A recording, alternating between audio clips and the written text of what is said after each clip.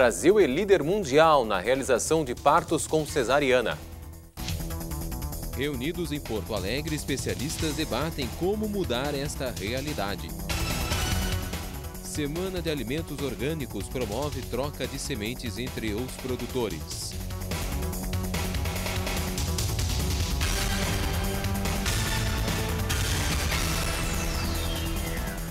Boa tarde. Em Porto Alegre, hoje a pauta do Fórum Perinatal é como tirar o Brasil da liderança do ranking mundial de cesarianas. De acordo com uma pesquisa do Ministério da Saúde, 52% das mulheres do país tiveram filhos com este método. No setor de saúde privado, este índice atinge 88% e no setor público, 46%. 30% delas desejam uma cesariana no início da gravidez. Isso é entendido por nós como sendo uma necessidade da mulher também entender qual seria a melhor via de parto para si. Porém, essas 30% que no início, por qualquer que seja o motivo, preferiram ter uma cesariana, ao longo do seu pré-natal, elas começam a ser convencidas. E no setor privado, 88% delas terão uma cesariana, mesmo que não queiram ter. No Rio Grande do Sul, a situação não é diferente são 62% de cesarianas. O índice é acima do preconizado pela Organização Mundial da Saúde, que é de 35%. De forma alguma estamos preconizando a abolição ou a questão assim, ó, vamos suprimir cesáreas nos nossos procedimentos. A gente sabe que a cesárea é necessária, tem indicações para isso, mas assim, ó, orientar tanto profissionais de saúde quanto a população em geral, de que a gente tem outras alternativas, de que a gente pode optar por outras alternativas, às vezes menos invasivas, desde que exista uma condição favorável para isso. Onde um bebê nasce é um ambiente muito semelhante a onde ele foi feito.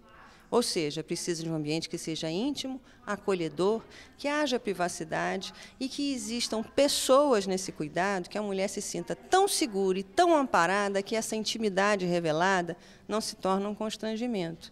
Então, esse ambiente do nascimento, que a Rede Cegonha, através da planificação das suas ações, vem criando um novo espaço dentro dos hospitais, dentro das maternidades, e trazendo uma proposta que ela é ousada, não só em termos nacionais, mas em termos internacionais.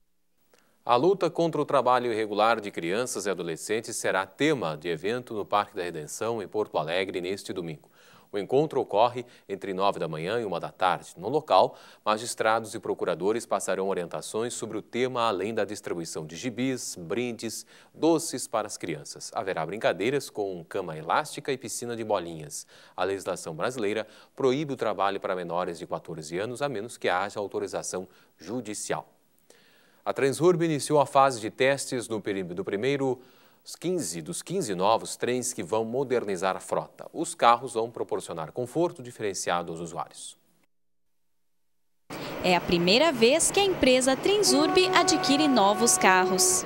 Esse novo trem ele é totalmente eletrônico.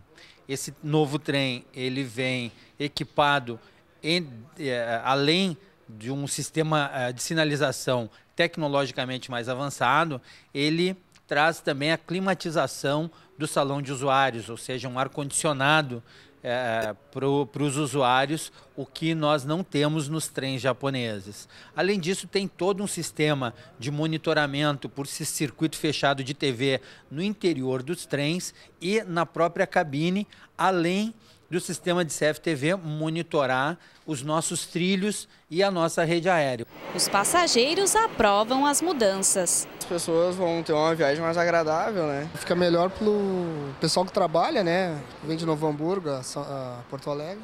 A fase atual vai ser de testes elétricos e operacionais. Os procedimentos devem durar 90 dias. Caso não haja imprevistos no primeiro trem, os próximos vão chegar a cada três semanas. A previsão é de que a nova frota esteja completa e em funcionamento no primeiro semestre do ano que vem. O número de casos de dengue confirmados no Rio Grande do Sul desde o início do ano subiu para 67.